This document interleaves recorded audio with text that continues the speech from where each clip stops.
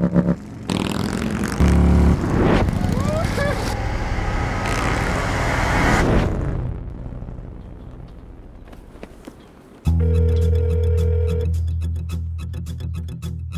is Cindy. Hey, Cindy, this is Ben. How's it going? Good. How's it going, Ben? Awesome, awesome. So, me and a few of my buddies are meeting in Salt Lake. We're picking up bikes, and we're finally going to experience Sturgis. Ben, you're just going to absolutely love it.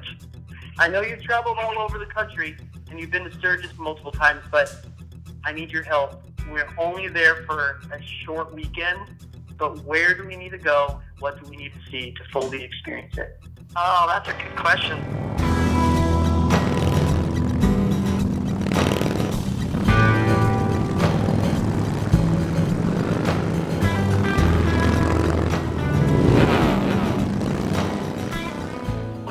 I have been to the Black Hills many times, and everybody calls it the Mecca.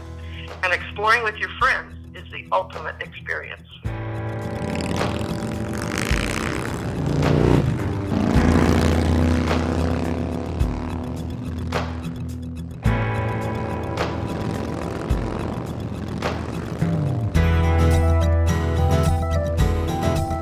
but just the sweep and the roll of smooth asphalt is just a gift. And Spearfish Canyon is one of my favorites because it's just something you take in and it's just breathtaking.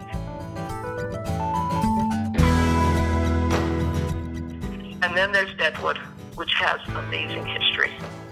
In fact, there's a perfect loop between Sturgis, Deadwood, and Spearfish Canyon. You'll just love it and then of course Needles Highway. Basically 37 miles of protruding, you know, sharp stones.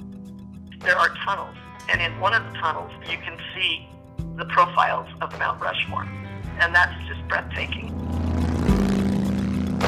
I mean, you can't experience everything in one visit.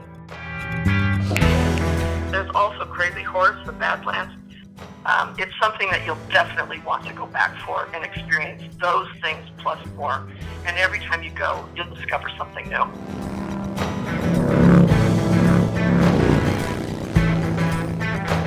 Sturgis is more than just a rally. It's awe-inspiring and a beautiful place to ride.